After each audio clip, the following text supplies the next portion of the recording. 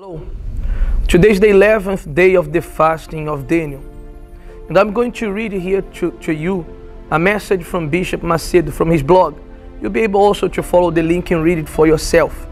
It says like this Let him hear what the Spirit says to the church. It is done. I am the Alpha, the Omega, the beginning and the end. I will give of the fountain of water of life freely to him who thirsts. Quoting from Revelation chapter 21, verse 6. There is a fountain of the water of life next to you. Even if your desert is the worst in the world, however, you must dig, dig and dig until you find this water.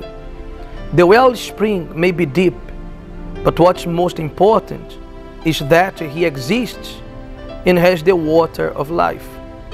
If you are waiting for someone to come dig for you, forget about it.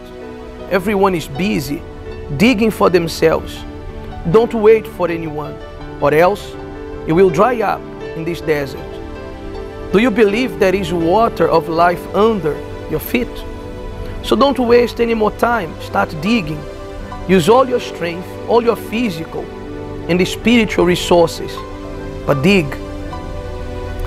Take a look at the testimonies of some of people who, who also received the Holy Spirit in these 21 days. I'm gonna read to you the testimony of Alina Saraiva. She says, The great day has arrived on my knees in the bathroom at my job, with the lights turned off and completely surrounded, while listening to, the, to your words, Bishop.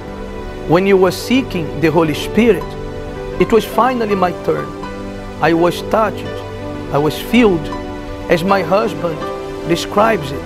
I went down the highest roller coaster and was overcome by an indescribable feeling.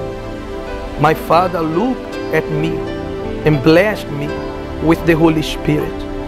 I cried like a child, and my mouth repeated words of gratitude.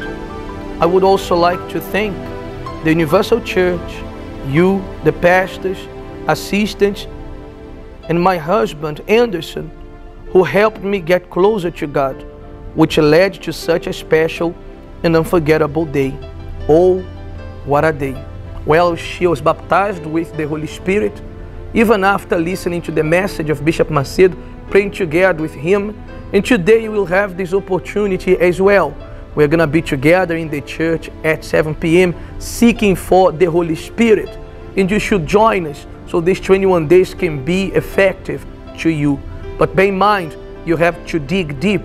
You have to take your water, your old water, in exchange for the water Jesus gives, the water of life, the water that will endure for everlasting life. All right? May God bless you, and I'll see you again tomorrow. Bye bye.